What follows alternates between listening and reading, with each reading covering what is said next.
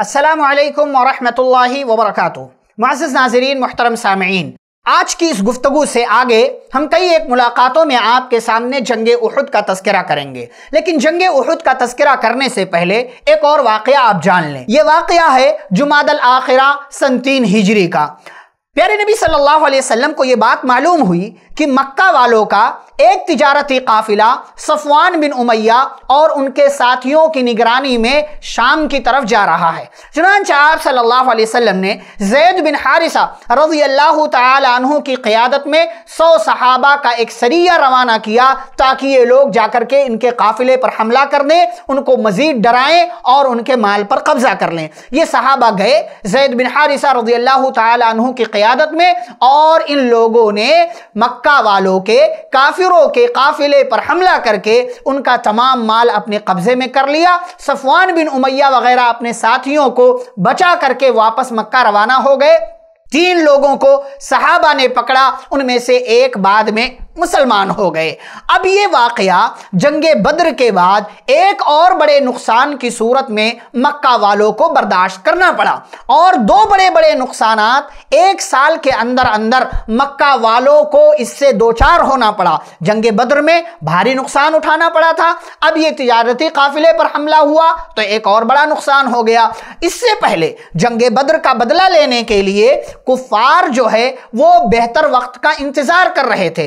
तदबीर कर रहे थे, कैसे जंगे बद्र का इंतकाम लिया जाए। अब एक और बड़ा नुकसान हुआ तो मजीद इनकी इंतकामी कार्रवाई, इसके बारे में सोचने लगे। इनके इंतकाम का जो जोश था, वो और ज़्यादा जो है बढ़ने लगा और इंतकाम की आग में ये लोग सुलगने लगे। चुनानचा मीटिंग तय पाई, जिस मीटिंग के अंदर Ikrima bin Abu Jahl, Abu Sufyan bin Harb और दीगर बड़े सरदारान जो है उसके अंदर शामिल हुए और मीटिंग ये की गई कि हम जंगे बद्र का और इस काफिले पर हमला किए जाने का बदला मदीना के मुसलमानों से और मोहम्मद से लेकर के रहेंगे सल्लल्लाहु अलैहि वसल्लम। चुनानचा इसी मकसद के तहत इन लोगों ने वो एक हज़ार ऊंटों पर जो सामान जंगे बद्र से पहले पहले अबू सुफियान शाम से लेकर के मक्का पहुँचे थे और जिस काफिले को बचा कर ले गए थे, उन एक हज़ार ऊंटों पर जो सामान लदा हुआ था और जिसकी कीमत पचास हज़ार दीनार बनती थी और आज की मौजूदा कीमत के हिसाब से जिसकी कीमत एक अरब इकतीस करोड़ रुपए से ज़्यादा बनती है। उस तमाम सामान को इन लोगों ने बेच दिया, जो कीमत मिली, उसको जंग की तैयारी में लगा दिया। अब जंग की तैयारी होने लगी। इंतकामी जंग के लिए कुरैश की तैयारियाँ होने लगी। एक हज़ार ऊंटों का सामान बेच दिया गया और लोगों को तरगीब दिलाया गया। लोगों को उभारा गया। अपने बाप का, अपने रिश्तेदार का, अपने बड़ों का बदला लेने के लिए तैयार हो जाओ। लालच दी गई, तरगीब दी गई, रगबत दिलाई गई। और तीन हज़ार का एक बड़ा लश्कर काफिरों ने इस मरतबा तैयार किया।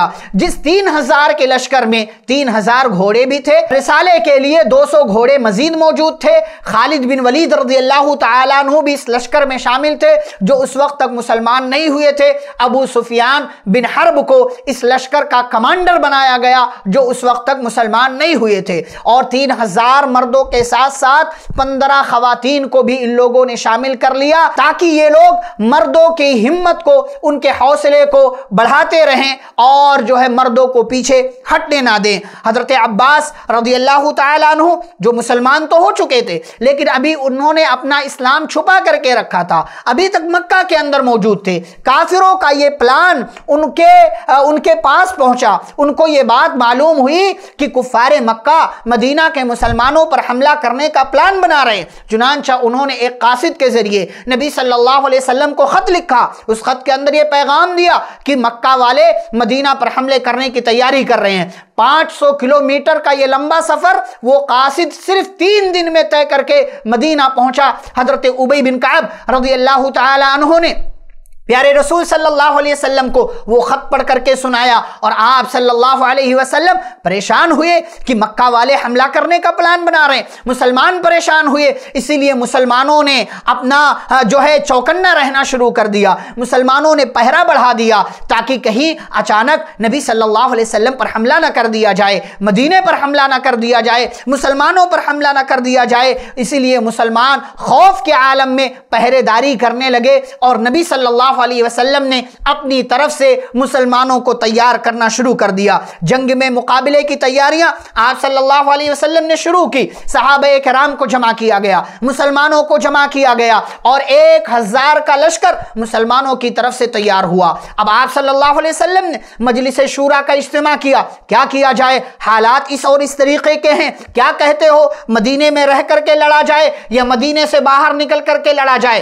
नबी सल्लल्लाहु अलैहि वसल्लम की ख्वाहिश थी, मदीने में रह करके लड़ते हैं। लेकिन बाद साहबा ने मशवरा दिया हज़रत हमजा वगैरह रज़ी अल्लाह तहु इन लोगों ने मशवरा दिया, जो जवा मर्द थे, शुजा थे, ताकतवर थे, बहादुर थे, हिम्मत और हौसले वाले थे, इन लोगों ने मशवरा दिया, अल्लाह के रसूल सल्लल्लाहु अलैहि वसल्लम हमें मदीने के अंदर रह करके नहीं, बल्कि मदीने की आबादी से बाहर जा करके काफिरों से मुकाबला करना चाहिए। नबी सल्लल्लाहु अलैहि वसल्लम की ख्वाहिश थी, मदीने में रह करके लड़े। और इसी मशवरे को अब्दुल्ला बिन उबई ने भी पसंद किया। इसलिए नहीं कि यह नबी का मशवरा था, बल्कि इसलिए कि अगर मदीने में रह करके लड़ते हैं तो हमने जो बजाहिर मुसलमान होने का दावा किया है, हमें बाहर निकलना नहीं पड़ेगा। हम अपने घरों में बैठे रहेंगे, लड़ने के लिए बाहर नहीं निकलना पड़ेगा। लेकिन नबी सल्लल्लाहु अलैहि वसल्लम को अपना मशवरा उन्होंने मुकदम नहीं रखा, बल्कि जो बात सहाबा की तरफ़ से, हमजा रज़ी अल्लाह तु वगैरह की तरफ़ से, जो मशवरा आया था, उसको कबूल किया और आप सल्लल्लाहु अलैहि वसल्लम ने फैसला किया कि हम मदीने की आबादी से बाहर जा करके इन काफिरों से मुकाबला करेंगे और उनसे वहाँ पर जंग लड़ेंगे। उसके बाद हालात क्या हुए? मुसलमानों की जमात एक हज़ार थी कम कैसे हो गई? क्या उसके अंदर कमी आई? मुकाबला कहाँ हुआ? कैसे हुआ? किन हालात में हुआ? मुसलमानों का लश्कर किस तरीके से नबी सल्लल्लाहु अलैहि वसल्लम ने तकसीम किया? इन सारी चीज़ों की तफसीत इन हम अगली मुलाकात में आपके सामने बयान करेंगे।